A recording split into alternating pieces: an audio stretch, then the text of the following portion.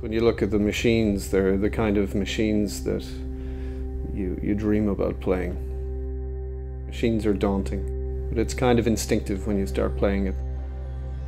I don't have access to that kind of that kind of gear, and uh, but having the hotel room and the studio set up inside the room is a perfect living arrangement. I think for any musician, you can just wake up and play when the inspiration hits you, you can stay here all day with the dream machine on.